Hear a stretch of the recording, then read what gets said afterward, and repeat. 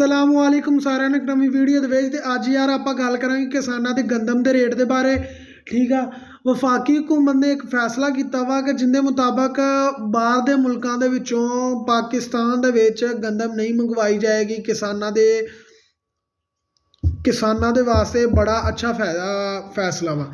ਇਹ ਕਿੱਦਾਂ ਫੈਸਲਾ ਕਿਸਾਨਾਂ ਵਾਸਤੇ? ਅੱਛਾ ਵਾ ਹੁਣ ਦੋਸਤ ਪੁੱਛਣਗੇ, ਯਾਰ ਕਿਉਂ ਅੱਛਾ, ਕਿੱਦਾਂ ਅੱਛਾ, ਕੀ ਵਜ੍ਹਾ? ਯਾਰ ਇਹਦੀ ਅੱਛਾ ਹੋਣ ਦੀ ਇੱਕ ਵਜ੍ਹਾ ਵਾ। ਇੱਕ ਤੁਸੀਂ ਗੱਲ ਦੱਸੋ, ਅਗਰ ਤੁਹਾਡੇ ਇਲਾਕੇ ਦੇ ਵਿੱਚ ਅਗਰ ਮਿਸਾਲ ਲੈ ਲਓ ਕਿ ਅਗਰ 50 ਮਨ ਗੰਦਮ ਦੀ ਐਵਰੇਜ ਆਈ ਹੈ ਤੇ ਪੰਜ ਕਿੱਲਿਆਂ 'ਚ ਗੰਦਮ ਬੀਜੀ ਗਈ ਆ, ਤੇ 20 ਕਿੱਲਿਆਂ ਦੀ ਬਾਹਰੋਂ ਆ ਜਾਵੇ ਤੇ ਗੰਦਮ ਤੁਹਾਡੇ ਕੋਲ ਜ਼ਿਆਦਾ ਹੋ ਜਾਏਗੀ ਤੇ ਮਤਲਬ ਜਿਹੜੇ ਇਸਤੇਮਾਲ ਵਾਲੇ ਲੋਕ ਘੱਟ ਹੋ ਜਾਣਗੇ ਤੇ ਆਟੋਮੈਟਿਕਲੀ ਕੀਮਤ ਗਿਰ ਜਾਏਗੀ। ਇਸ ਲਈ ਕਿਸਾਨਾਂ ਵਾਸਤੇ ਬਹੁਤ ਅੱਛੀ ਗੱਲ ਆ ਜਿਹੜੀ ਆ ਗੰਦਮ ਬਾਹਰੋਂ ਨਾ ਇੰਪੋਰਟ ਕਰਵਾਉਣ ਦੀ। ਕਿਸਾਨਾਂ ਵਾਸਤੇ ਬਹੁਤ ਅੱਛੀ ਗੱਲ ਰਹੇਗੀ। ਰਹਿ ਗਈ ਇੱਕ ਹੋਰ ਗੱਲ ਕਿ 2024 ਦੇ ਅੰਦਰ ਆਪਣੇ ਗੰਦਮ ਦਾ ਰੇਟ ਕਿੰਨਾ ਰੱਖਿਆ ਜਾਏਗਾ?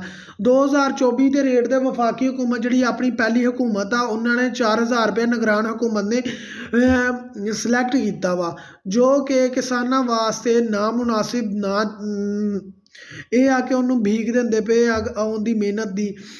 ਫਿਰ ਵੀ 4000 ਰੁਪਇਆ ਅਗਰ ਕਹਿ ਲੋ ਤੇ ਠੀਕ ਆ, ਮੰਨ ਲੈਂਦੇ ਆ, ਪਰ ਇੰਨੇ ਦੀ ਗੰਦਮ ਨਹੀਂ ਨਵੀਂ ਹਕੂਮਤ ਆਈ ਆ, ਦੇਖੋ ਕੀ ਕਰਦੀ ਆ।